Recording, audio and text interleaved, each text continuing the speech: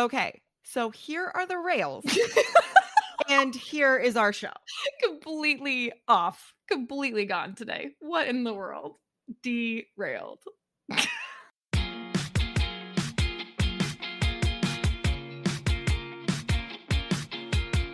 Yay, you're here. Welcome to the CK and GK podcast. Let's get going.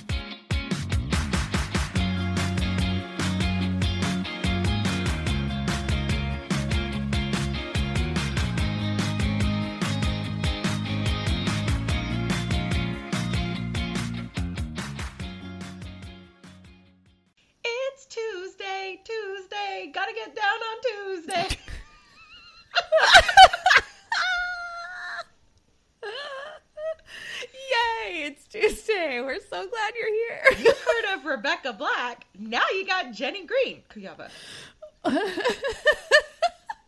I was waiting for that joke to come. I was gonna let you make it. If Oh, you didn't make it within the next like five or six it. seconds, I would have done it. I know, right? I, it was there. It was coming. Y'all, we're so glad you're here today. Um, today we're talking about dinner party etiquette, uh, both for the host and for the guest. So um, now that people are being social again, we've got some tips for how to not uh, do things that annoy the bejesus out of people who are at the dinner party with you. Right, right. And today Yay. we have Caitlin, who is the ultimate dinner party guest. She can work the room like an extrovert, or she can sit in the corner with you while you introvert. Oh, I love that. I can also sit in the corner and eat all of the guacamole. And I will be the one who goes and finds your pets Ah. at the party. So I'm really good at those things. also good at taking something from like a level of funny to a level of now everyone's uncomfortable with the joke that I just made. So if you're really into that, have me over. I'm really good at those things.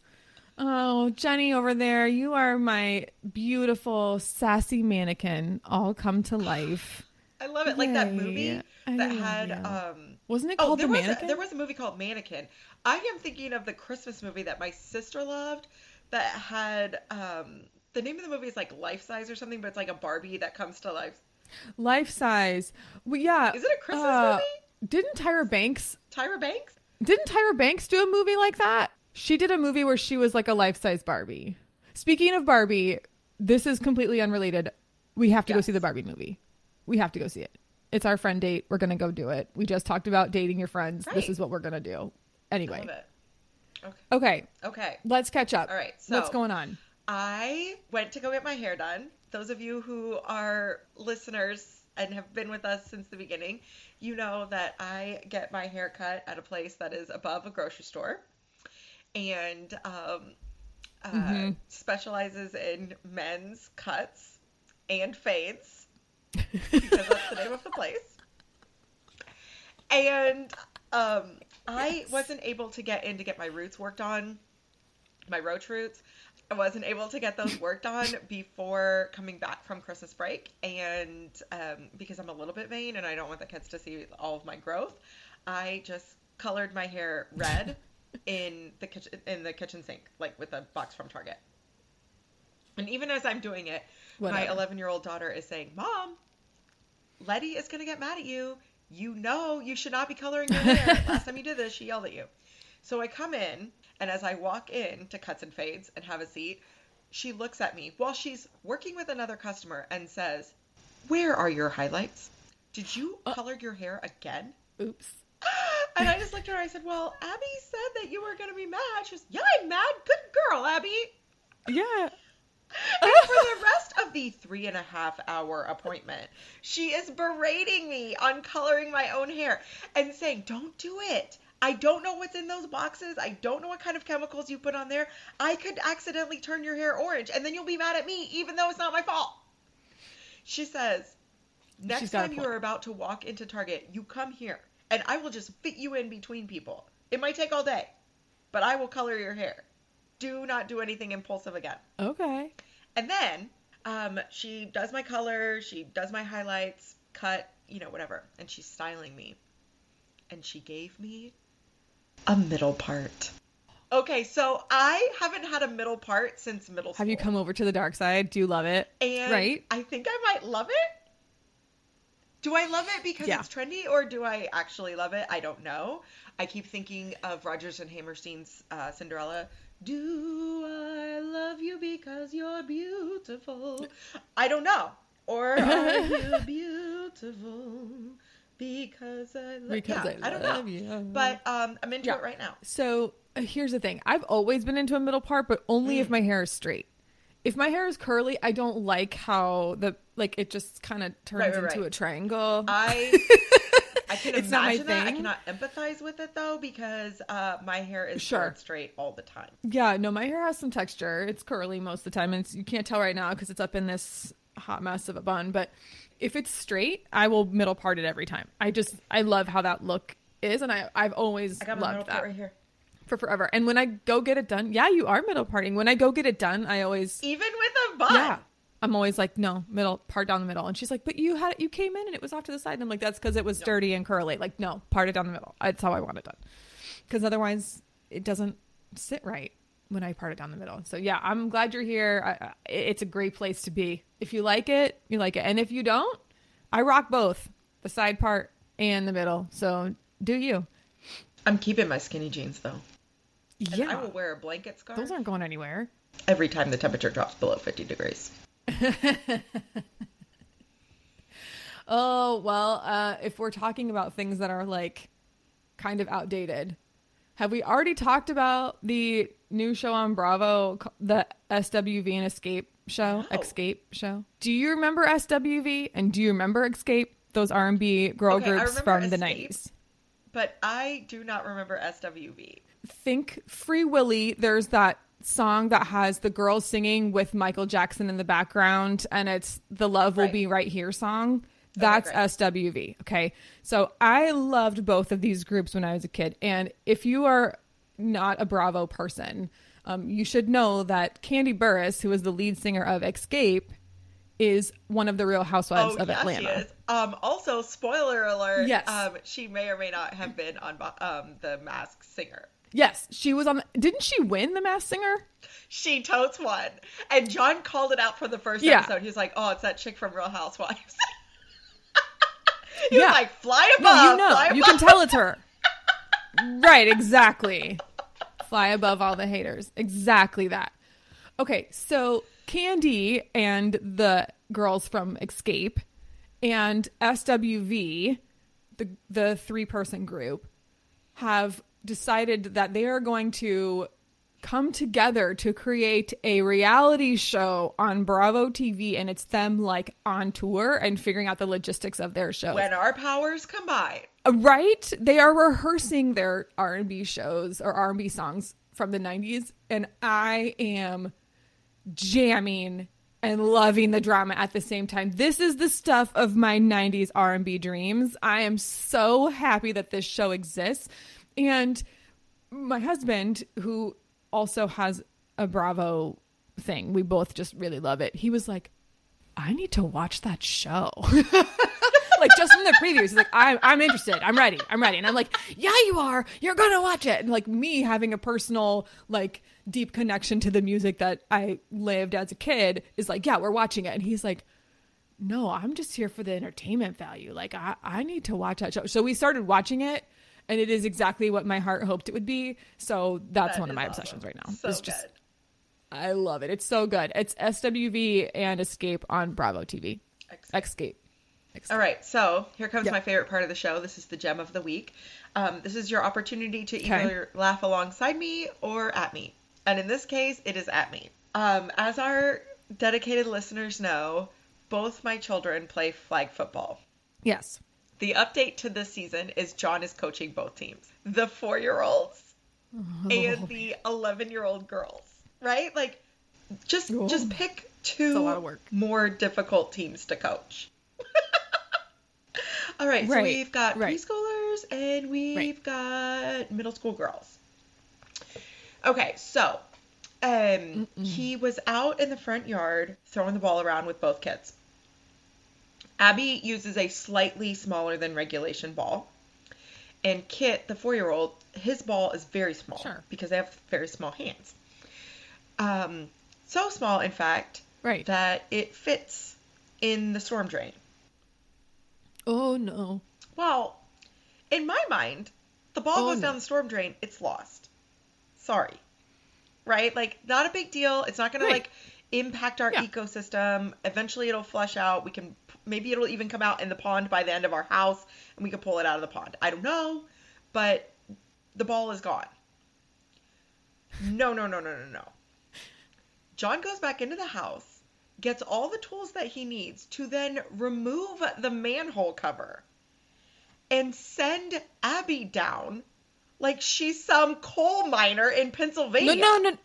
to go get the ball out of the storm drain. Oh.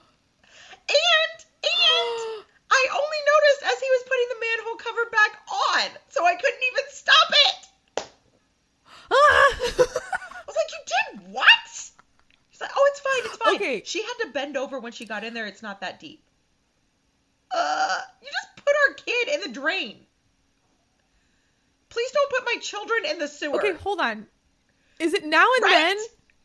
Is it now then and then, like, where she goes into Yeah. the storm? Is it now and then? Yeah. And you hear like, is it? Te- Yeah. It's te- what's her name? Teeny Teensy. Yeah. She's like crying and like Samantha. Oh my. Was Oh like, my goodness. what- what no, no, no, no, no, no, no. He said, "Jen, it Oh, I'm like, I have to fan Like, it's myself. fine. It's fine. Well, then Doesn't like, The next day matter. is when the skies open up and it rains forever. And so I was just like, look, Right. this could have happened. Oh my God. It's fine. It was dry. She could touch. She could reach out the top. Oh man. Ah. Okay. Well, Right. sorry. I'm like fanning. I'm so glad that I caught it at the end Anxiety. Okay. I would not have let it happen. Right. Because you would have been. Yeah. No. Mm-mm, you would have been freaking out. Oh no. Put my kids in the sewer. He put my kid in the sewer. like- Thank goodness she's tall. I would have gotten lost. she's almost as tall as me. Oh goodness, if not taller at this point. Okay, so um full full disclosure here, I don't know the context around this story. I I only know the two lines that I heard from the story. I can gather that it happened around the time that we were supposed to be heading towards bedtime. So like at our house, it's like finish the homework, take a few more minutes to relax, timer goes off and then it's um oh the timer's telling us like it's time to clean up and go wash like have a bath have a shower whatever it is and then we're gonna start the wind down process What time does that timer go off? Like for me, it's like two thirty, maybe three in the afternoon. it's a biological timer, right? It's just that idea that like, oh, it's time for me to wind down. I need to go to sleep. yes oh man well while my mind and body are telling me that 2.30 is the right time my child is still at school with that so i can't really use that. Um but like 6.50 7 o'clock is when we start that wind down process for our family. So um right around that time uh i'm hearing i'm like doing the dishes so you can't really hear everything that's happening going on behind me which is why I, I don't have the full context for the story but i turn off the sink just in time to hear my husband go to our son boy you sure made that difficult and without skipping a beat my son goes yeah well difficult is my middle name Accurate. Right. right. Sam, difficult. Yes. That works Yes. perfectly. We're going to change your initials. We'll add it to your Oh, like list of nicknames. No problem. So, um, if you are wondering if your child has difficult as a middle name, there's a good chance that they might have already given it to themselves and you're not alone in that situation because, oof, that was rough. It makes me think of that comic where um, the dog says, "Hi, I'm no no bad dog. What's your name?" yeah. oh, poor baby dog. oh man. Oh goodness. Well, that's that's the gems, folks. Let's move into some real talk for this week. So we mentioned earlier that um, we're talking about dinner party etiquette, like how to be a good host and how to be a good guest. Um, I'm going to preface this by saying that I did not make all of this up. However, I am adding my own color commentary to this, as Jenny will be. But I loved these tips. I thought they were really smart. This is from an article on PureWow by Sydney Meester or Meister. I'm not sure, but um, I will link that article in the show description so you can read it for yourself. Um, she had some like dinner party and like some sort of experts also contributing to her article. So some of what I'm going to say is not necessarily just my idea, but I am organizing this a little bit differently because I feel like it's important to draw a distinction between some of these behaviors I as a guest and some of them Was as a June host, Cleaver one which of her doesn't happen. Yes, What about Emily Post? she was not. No. Um, there is someone Okay. who does mention an Emily Post thing in the article. I did not talk about Emily Post. However, I of course looked for that name. And yes, it's there. Okay. So I'm going to say this. We tell our child that good manners are how you keep yourself from being embarrassed in a social situation, right? Right. And that is just like if you have good manners, you can hopefully ward off some social embarrassment. Now, if you're me, you have good manners and you still know how to make things awkward for your guests and for the people around you. So maybe that's just who you are. That said, um, a lot of this just comes down to like just thinking about someone else in the moment, right? So, okay. So I'm going to start with the guest side of things for how you Okay. should behave at these dinner parties. And remember, we're thinking dinner party or like cocktail party. We're not thinking like, you know, a rager, which I don't know how many of us are going to those. If you're No. one of our audience members, you probably are have left those days long behind you. Okay. So, as a guest, the number one rule is don't offend the person who was kind enough to invite you into their home. That is Yes? a great rule. Right. So, um, if it's a dinner party, uh, I'm going to start by saying we are in the era of the dietary restriction, right? Right. People are mindful of what they can and cannot eat for health reasons, but also for their own personal reasons, whatever those may be. Okay. That said, the host is not responsible for you among all of their other guests. They can do the best that they can, but like you don't need to be pushy with your dietary restrictions. Right? They're probably going to ask. Right? They might say like, "Well, I'm going to have this, but I also know that XYZ is is vegan, so I'm going to also have that." Right? Yes. but you don't need to be pushy about it. If you are on a strict eating regimen by choice, I'm going to say eat what you can on the plate and then like don't draw attention to why you chose not to eat it, especially in front of the host, Right. right? Like just don't do that. If you're concerned about being hungry, either eat a little snack beforehand, eat your dinner beforehand, or just decline the invitation and say, like, you know, I have really strict dietary needs and I just can't.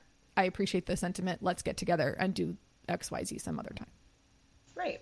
As a host, like strive for inclusion, right? Sure. Nothing can be as isolating as food. And you're sitting at a table and everybody has the same plate. It it doesn't feel great if you can't eat it. Um, so when you invite someone, ask them, do you have dietary restrictions? What are your dietary needs? Mm-hmm. Make it open that conversation so that someone doesn't have to come to you. Um, now, if you ask the question, you gotta adhere to it. Yeah. yeah. You can't just be like, oh, I know you told me you're Oh. vegan, but everything here is made with milk and butter and eggs. So thanks. So thanks. Um, but if you are a guest and you have strict dietary needs, ask, "May I bring blank?" instead of "What can I bring?" Right? Say, Mhm. "Can I bring a salad?" Um, "Can I bring a side?" Mhm. Or straight up say, like, I have a good friend who is very, very, very gluten free. Mm. Right? Like she just eating something that was cooked in the same pan is enough for her to have a flare up. Oh, wow. Yeah. Um, and so she brings her own food and she says, I know it's weird, but is it okay if I bring my own food? And it's like, yeah, as a matter of fact, it is. I'm so Right. happy that you can come. Right. Oh, that works. Yeah. And I like it. she explains, right? Like, it's nothing against you, it's nothing against anything that you're making, but I'm highly sensitive. And is it okay if I bring my own food? Yeah. But asking if you can bring a salad or if you can bring a side and you know it's something that you can eat, most of the hosts will say, "Yeah, I'm making pot roast. Bring something that goes with that." Sure. Makes sense. Okay. This one is for me. we talked about stains in one of our previous episodes, and primarily because you and I both make a mess. Please don't use a cloth napkin to clean up your red wine spills. Oh yeah, no. Like if it's a cloth napkin or a linen napkin, like don't don't do that, especially with red wine. Now, I I am very intentional about red wine and I don't drink it in public because I know I spill on myself, on other things, on I people. did not know that about you. I do not drink red wine in public. I won't do it. Even if it's like if there's like a steak in front of me at a restaurant and like red wine is what goes with that, okay, fine. Because I'm at a restaurant and I know they're equipped to handle that sort of thing. But Oh I don't I don't drink that red wine in so good. Mhm. I also Talk get about like knowing yourself. right. I also get like purple lips and purple teeth if I like after like a sip. So I'm just like, no, I'm not I'm not gonna I'm not gonna do it. I won't touch it. But I I don't drink more than four shots of tequila in public. How's that? Talk about knowing yourself. Good job. okay, so I'm just going to say this. Spills happen. It's not about the spill, it's how you handle the spill, right? Do you Everyone those knows. brush ups. Do you Yeah. remember those? It was like a little thing you slipped on your finger and you would like scrub your teeth after you drank red wine. Yeah. I use it on my lip because I'll have like red. Yeah. Do they still make those? I don't know, but I hope so. I'm over here like using my finger or Yeah. like the No. underside of my shirt. Like, yeah. Did people just say I could just use a regular toothbrush instead of that little finger thing? Not if you're in public. What are you going to do? Excuse me. Like, just start brushing at the, like, at the table? No. yeah, well, you didn't do that thing at the table, did you? Sometimes I'll rub my lip at the table, but it, it Rub- doesn't rub look lip. as No, I'm talking about Yeah. the thing that you would like slide on your finger No. and then brush your teeth. no, I don't think I would have done that at the table. Okay. Yeah. Sorry. Continue on. No, you're good. Um, so it's it's more about how you handle that spill. Ask the host what they want you to use to clean it up. Like if they say, "Hang on, let me go get paper towels." Don't touch anything. Wait Right. until they get the paper towels. If they say, "Oh, please don't bother, let me do it." Don't touch it. Let them do it because they probably are saying that for a reason. Please don't try to blot it up and ruin someone's napkins. Like, Okay. So, um, if they are using paper napkins and they are not white, also Mm-hmm. Yeah. do not use them to clean a spill because Oh, paper napkins have so much dye in them Yup. that when you get them wet, the dye can then go onto Transfer. the tablecloth or the Mhm. carpet or whatever it is that you're trying to clean up. you're right. So, You're absolutely right. seriously, just say, hey, I spilled this. Now, here's the other thing your napkin should stay in your lap until the host or hostess picks hers up and puts it on the table. If Mm. they haven't put their napkin on the table, manners, you know, Emily Post says you keep it in your lap. Really? I did not know that. And if you are getting up mid meal, um, you neatly fold it and put it to the left side of your play setting. Do not Oh. leave it on your chair. Do not hang it over the back of your chair. Um, if you're out somewhere of a certain caliber, someone will come back and refold your napkin for you and replace it. But um, yeah, you don't leave it on the chair. Oh my goodness. I hadn't I don't know if I'd noticed, but that's interesting information for me. The other piece of this is if you are someone who wears lipstick, blot it. Please blot it before you wipe your lipstick on someone's napkin, a cloth napkin. Blot your lipstick or make sure it's that kind that doesn't transfer. That happens too. Yes. But just don't wipe your lipstick on their napkins. Ugh, gross. Okay, another thing. And this one is going to be tough for people because we all know when you show up at someone's house, especially for some sort of dinner party, you need to bring something for that person. It's like Yes. bring a bottle of wine, you bring whatever it is. Here's the problem with that. When you bring something, you need to ensure that it's not something that's going to take up valuable fridge space. Mm. This person is hosting a dinner party or a party of some sort where there is food, which means there is more food than normal in their refrigerator, which means the space in the refrigerator is lacking. So if you show up with a bottle of wine that needs to be chilled and say, Here you go, then you're taking up valuable fridge space. Same thing with a six pack, which is even bulkier than a bottle of wine. It's not okay to bring something that's going to take up valuable fridge space. And if you're like, oh, I brought the six pack for me to drink, okay, it's a dinner party. They probably like put together a menu that has beverages that go along with that. No, you're not. You're not going to drink your No. six pack while you. No, you're not, because that's No. just rude. Don't do that. So consider bringing something else. Bring, uh, maybe you can assume this person probably likes to cook, right?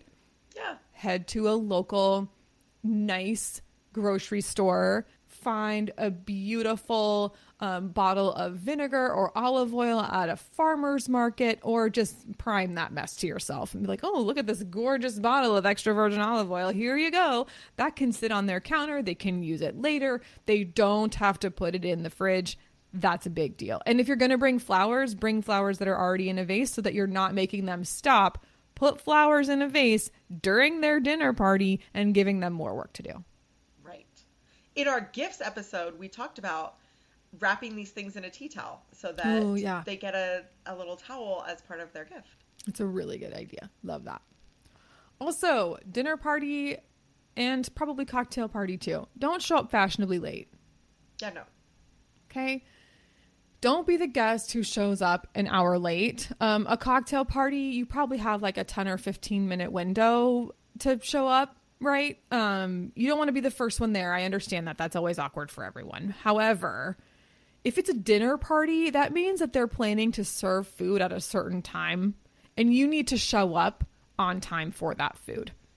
If you're the person who is like showing up after the meal is supposed to start, like, come on, don't be that person. It's awful. That's just really bad. And um, I would say on the flip side, don't be too early either. Oh, yeah. Um, because if someone is cooking, they're probably using all of that time and trying to time their meal so that it matches the arrival that they set. Right. So if they said come at seven, and you show up at six thirty, I at my house at six thirty, I'm not even dressed. nope. I I am fr- uh, frantically trying to chop or get something in the oven before I go upstairs and get dressed, which is always the last thing I do. yep. Because like you, Caitlin, I spill. And I spill Yeah. a lot when I'm cooking. Yeah. And I tend to wipe my hands like on my shirt or on my apron. Yeah. So don't show up half an hour before I tell you to. Right. Because I'm not ready for you. No, I, I'm going to use that last 18 minutes to wipe myself down with the baby wipe and then slap some clown paint on my face and get myself ready to go. Like, so that the last, so the cleanest thing in the house is going to be me, but it's going to be with the baby wipe, probably. So just putting that out there. Okay, so those are some guest rules. I'm going to move into host rules now. Sounds great. Okay. As the host, your rule for the night is you are fun facilitator. Okay. I understand that you probably feel like head chef also and head server, right? You're front of house and you're back of house. I get that. Okay. But you're tonight's scheduled entertainment as well. Right. You are fun facilitator. Okay. Mandatory fun is happening around you. That is your job. So don't spend all your time in the kitchen. Don't do it. Okay. The key to being a great host is not being stuck in the kitchen when all of your guests have arrived. Now, if you have one of those houses like I have where literally like your kitchen is open to the entire living room and you're spending your time in the kitchen, everyone's going to be in there with you. So Right. you're not going to be able to get things done anyway. You might as well have set yourself up for success by being ready to go when people show up and having it arranged and ready. Okay. So choose something that you can make ahead of time, be served in one dish at the table, or if you're fancy and you can, get someone to help you with that serving, right? Get Yeah. someone to make sure that the food comes out to you at a timely manner. That's another cool way to do that, right? And get dessert taken care of by a professional. Unless you are someone who can bake. I'm I'm a pretty good baker, so I'll say that. But I would rather have something that I could bake ahead of time and then Right, right, right. Pre like cut up or whatever so that I can just have it be served and ready to go or just choose coffee, right? Like get a professional to do it, make it something ahead of time, or just serve coffee. And when people are done with their coffee, then you can kick them out of their house. just make it easy on yourself so that you aren't constantly in the kitchen the entire time and not enjoying your guests because they're there to hang out with you, right? Right. There you go. Okay, don't seat couples together. At the table, you're going to be tempted to seat couples together. And some couples are going to be like, "Oh, eh," they might not know anyone else. Like, whenever I go to an event and I don't know anyone else, I am stuck like white on rice to my husband, right? Like, that's Yeah, just no, how I'm it is. Velcro. Right, for sure. However, you're trying to facilitate mingling and you're trying to facilitate conversation. And if you seat couples together, there's a good chance they're going to only talk to each other and not to other people at the dinner party. How So- interesting. Yeah. So I'm going to say split couples up, even if it's across the table. And if you can, alternate like male female. Ah. Now, if there are people who are like non gender conforming, put them wherever you feel like it makes sense. You can also like group people based on common interests Right. right? Like Bobby likes podcasting. Oh no way, Caitlin also likes podcasting. Maybe I should put them next to each other so that they can talk about podcasting. That makes sense. You can do that here, right? And if the party is larger than four people, it's gonna sound cheesy. It's gonna sound very Martha Stewart, but like, use a place card. You can put their name on ornamental gourds if you want to, or you can just like put a sticker. Who cares? Just like Yeah. put it so that people don't go, oh, well, I'll sit here and uh, uh, uh." no, like because then you're gonna have people sitting next to people that they're comfortable with and not necessarily having that mingling new conversation, right? And if you're a host, sit at the end of the table. Yes. That's your job, right? Yeah. Yes. Okay. Also right. know that if you sit at the head of the table at a restaurant, you are offering to pay, Ooh, according to Emily Post. whoopsie. Keep that in mind. All right. Don't have an extended cocktail hour. Okay. I I know where you're going with this, and I'm already starting to feel uncomfortable. Okay. The best episode, this is arguable, so I'm just going to put this out there. The best episode of The Office is the dinner party episode. Okay? This is the one where the cold open is Michael pretending to cancel late night work and then inviting Pam and Jim over to his house for dinner with Jan. This is the episode where we learn that Michael runs through the glass door because he thought he heard the ice cream truck. This is the one where he dips his food in his red wine. This is the one where he thinks he he's being poisoned by Jan because her cooking is so bad that he thinks she's trying to poison him. He sleeps on the bench at the foot of the bed. He sleeps on the bench at the foot of the bed. Um, Like a she- right. She makes bonfire candles. Um, this is the, The best TV. episode ever. He talks about, he pushes the TV into the wall. This is the best episode ever. But remember that Jan is making osso buco and it takes three hours for it to cook. So she traps the guests there for three hours. She says everything else is done, but the osso buco needs to braise for three hours. Hours. Oh What? my gosh. Who does that? Do now not. let me tell you this. I love the idea that it's a dish that needs to braise for three hours as a like potential host meal yes. because you could get it in the oven yes. at three o'clock and then have time to prep and get the table set and yourself ready and then when your guests arrive you can just pull it out of the oven and it's ready Right. you do not put something in when people arrive that takes three hours No.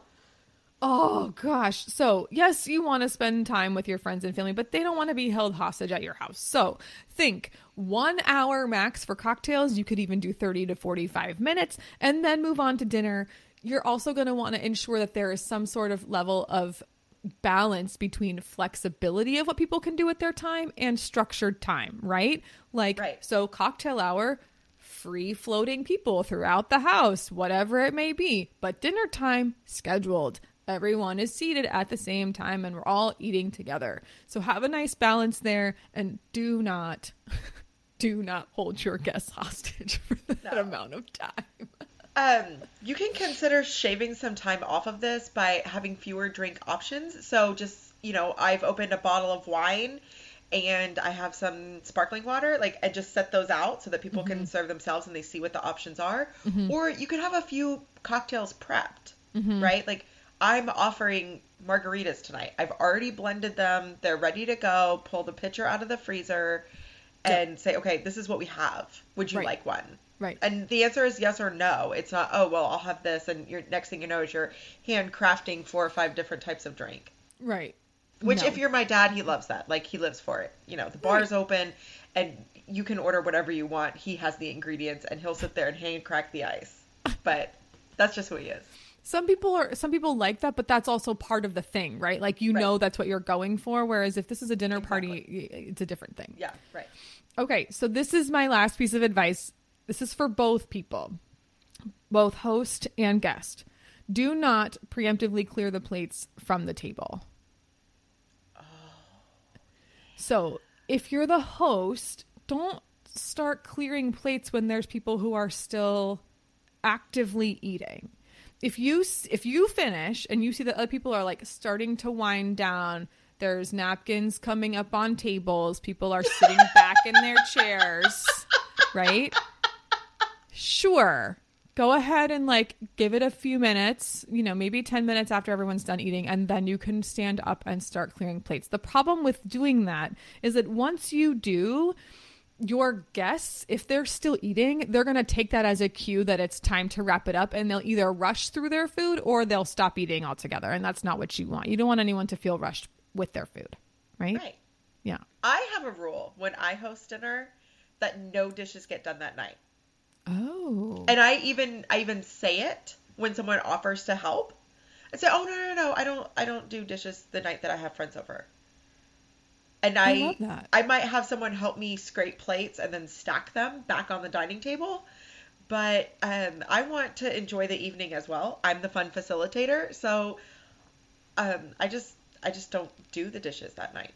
So then what do you do to, to get that out of the way? Like if, if dishes are on the table, do you just move to a different location in the house? Yeah. So I say, let's go to the living room and have dessert, or we're going to have dessert on the patio um, and just move to another space for dessert and coffee. Um, I just leave it and say, don't worry about it. We'll take care of it tomorrow. It'll all be there. Love that idea. That's brilliant. If you are the guest and the host is sitting and enjoying their guests and not moving, don't stand up and start cleaning up. No. Again, then the host feels like they haven't done their job of keeping things moving and all of that. You're going to make people feel uncomfortable. Um, other people will start to feel like they have to clean up. Like, just don't bother. The other thing is, um, it is okay to offer your host a hand with cleanup. I encourage In fact, that. It's expected. Right. However, if they decline your offer and they say, oh, no, no, no, just sit tight, as Jenny just explained she does with her guests, sit tight. Like, don't. Right. Don't just start doing it. Um, it makes people feel uncomfortable when you do that. And they're probably telling you that for a reason. Maybe they're going to wait till the next day to clean up. Maybe they have someone coming to help them to take care of it later. You don't know what the circumstances are, but you definitely Those offer dishes might not go in the dishwasher. Right. You offer to help, and then you, you know, if they say, if you just want to stack them or you want to grab the wine glasses and just bring them into the kitchen and then leave it there, that's what you do. You always follow your host's lead. Do not go above and beyond what they tell you to do. And if they tell you to leave the dish at the table, it's going to make you uncomfortable, but you're going to leave the dish at the table. Right. Yeah. Now, if they accept your offer, Mm-hmm. follow their lead again. Mm-hmm. Because you can say, okay, I'll wash and you dry. Mm-hmm. Um, what do you want me to help you put the food away? Get a, a specific task Mm-hmm. because they probably have a, a routine in their mind about how this is going to work. Mm-hmm. Um, the other thing is, you could always start by saying, "Oh, can I take out the trash for you?" Oh, that's a good one. Because me- chances are the trash is full because they've been cooking all day. Yep. Um, or the trash is full because you just scraped plates. Mm-hmm. And so that's an easy task that you can't really screw up, Right. and the host can pass on to you feeling good about it. Right. For me, I I mean, this is going to come as a surprise to many people, especially you, but I like things to be done just so, right? Like- surprise, surprise. So for me, if I have someone who's like loading the dishwasher for me, I play dishwasher Tetris, so I'm going to go back in and rearrange what you did in the dishwasher. Right. Right? Like it's going to bother me. Um I I also don't like to be fielding questions about, "Oh, where does this dish go? Where does that dish go after you've dried them off?"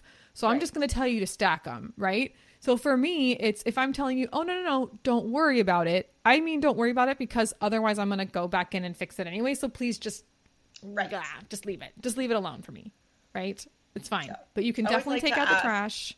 Is there a task I can do that doesn't take more mental energy to describe to me than it would for you to just do it yourself? Right. Taking out the trash is one of those things. Yeah. Bringing the recycling out to the recycling bin is one of those things. Right. That's a great task for anyone who asks, How can I help?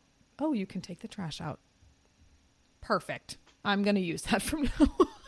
Oh, it's great. Love it. Okay. So to recap, I've given you eight. Is that eight? Right? Is that right? Eight, Eight. things that you should do as a dinner party host or guest. So we're gonna say uh, your main rule is to not offend people, right? So don't offend your host who invited you to their house, and don't offend your guests by making them feel uncomfortable. Don't be pushy with dietary restrictions. Don't use cloth napkins to clean up any red wine spills. Don't bring a gift that requires fridge space. Don't show up fashionably late to a dinner party. Don't spend all of your time in the kitchen if you're a host. Don't put your couples together. You want to facilitate fun and conversation. Don't hold your guests hostage like Jan Levinson from the, from the office. and don't start cleaning up too soon. Always follow your host's lead when it comes to the cleanup process and um, and leaving their home. Right? Well, this is the part of the show where I tell you if you liked us, you should tell the world and um, give us that five star review, write something nice about us, um, consider us your host, and that's your way of thanking us for the evening. Um, and make good choices. Bye, babe. Bye, babe. Don't be a Jan. Okay, bye.